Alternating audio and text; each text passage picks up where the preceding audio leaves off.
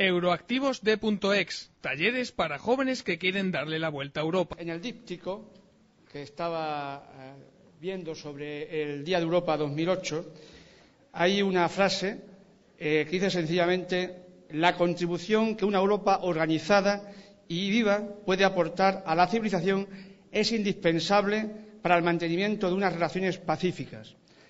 La verdad es que solamente con ese inicio es cuando uno se da cuenta que un acto conmemorativo como este es necesario para eh, plantear el Día de Europa 2008. Eh, para la Consejería es muy importante eh, que haya intercambios, no solamente intercambios bilaterales, sino intercambios multilaterales, que el alumno y el profesor y la profesora salga de Extremadura y salga a Europa, vivir otras costumbres, vivir otras ideas, y sencillamente con eso yo creo que conseguiremos el concepto, el objetivo fundamental, lo que es la conciencia de ser ciudadanos europeos.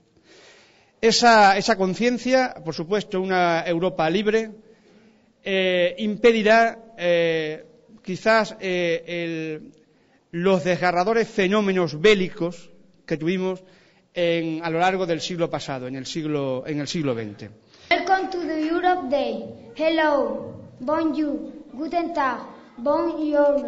Bon dia, good morning, buona dinazza. Buenos días a todos los presentes, autoridades, profesores y alumnos de distintos centros extremeños. Hoy, 9 de mayo, celebramos el Día de Europa un año más. Este año celebramos el Año Europeo del Diálogo Intercultural. Europa está formada por distintos países y cada uno tiene mucha riqueza. Si viajamos por Europa podemos descubrir la diversidad de lenguas, tradiciones, culturas, paisajes y costumbres. Nuestra Europa es realmente rica y debemos conocerla. Como celebramos el Año Europeo del Diálogo Intercultural, debemos pensar qué significa, qué significa esto, es decir, diálogo entre culturas. Todos debemos conocer que existen muchas culturas y que tenemos que conocerlas y respetarlas. En nuestro colegio estamos trabajando en un proyecto europeo que se llama Aprender de todo y de todos, con otros centros de Rumanía, Dinamarca e Italia. Hemos realizado distintas actividades y nos hemos enviado fotos, folletos, cartas, etc.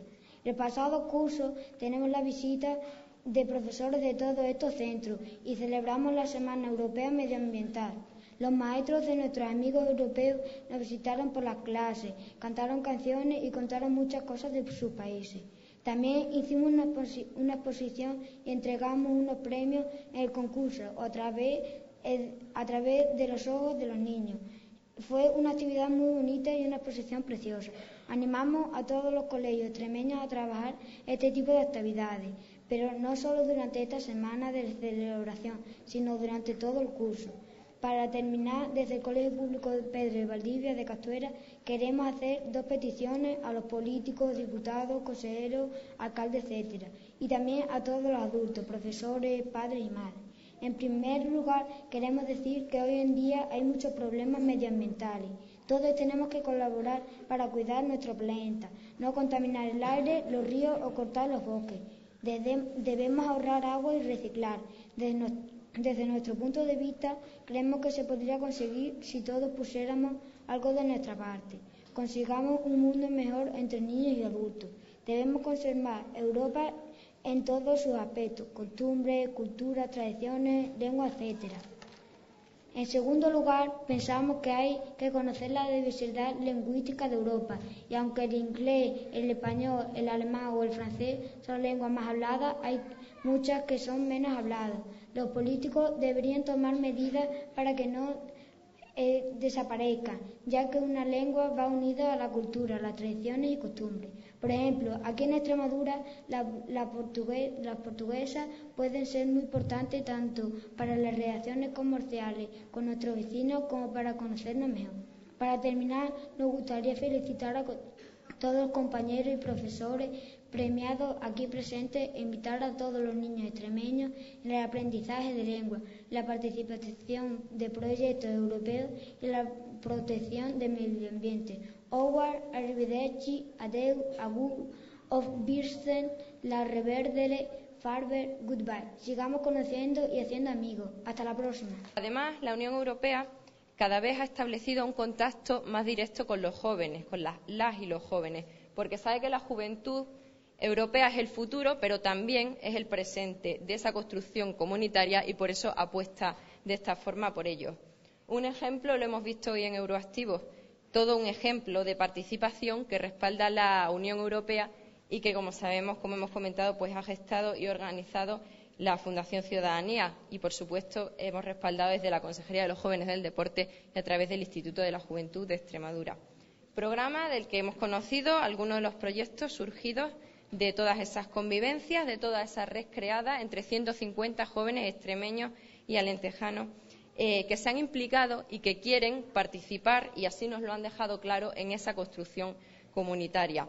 Eh, en esa construcción de esa Europa que es de todos, pero que sobre todo es y será de los jóvenes. Apoyamos desde la Consejería, por tanto, el conocimiento de Europa, sus instituciones, en, todos sus ámbitos, en su riqueza lingüística y sabemos, como hoy hemos vuelto a ver, pues que este apoyo está respaldado por muchos jóvenes. Por mi parte, nada más, invitar a todos los jóvenes y las jóvenes a que se sumen a la celebración de este día porque Europa somos todos, Europa es nuestra casa y podemos y debemos participar de ella. España ingresó el 1 de enero de 1986 en Europa. Ninguno de nosotros había nacido. Los jóvenes esperamos mucho de Europa y Europa necesita de nosotros. Agradecemos la herencia de nuestros mayores y ser educados en los valores de la paz y la igualdad. Pero queremos mucho más. Europa necesita nuestro optimismo y vitalidad para buscar nuestros horizontes y afrontar los desafíos de la ampliación. Necesita nuestra rebeldía para luchar contra las violaciones de los derechos humanos, el racismo, el sexismo, la intolerancia. Requiere de nuestra solidaridad con nuestros hermanos los países del tercer mundo. El futuro nos plantea nuevos desafíos y antiguos retos. El cambio climático es ya un viejo conocido y la lluvia ácida castiga el pulmón de los bosques europeos. No es ese el futuro que estamos esperando. La nueva Europa que queremos vivir pasa por nuestro compromiso con el planeta, un viejo amigo olvidado. No podemos dejar pasar por alto la inmigración, un problema que requiere de acuerdo y diálogo entre los pueblos y necesita de un espíritu joven y solidario. Tampoco podemos negar que el porvenir nos depara difíciles desafíos que tenemos que afrontar desde la unidad, el viejo continente es consciente de su larguísima historia, pero puede confiar en el camino. Queremos que el futuro siga sonriéndonos. Estamos aquí, como decía, celebrando el Día de Europa, pero a mí me gustaría destacar que en Extremadura se celebra, se celebra el Día de Europa durante todo el año, con todo tipo de actividades de concienciación europea y con este objetivo de concienciar y acercar la información europea a los ciudadanos, se creó en el año 2006 la Red Extremeña de Información Europea Reiner. Una red que está formada actualmente por 19 entidades de muy diversos ámbitos cultura, educación, universidad, ciudadanía, sanidad, etcétera. Porque, como decía Susana antes, Europa somos todos y por ello lo que se pretende es que la información europea llegue a todos los rincones de Extremadura, a todos los colectivos y sobre todo durante todo el año.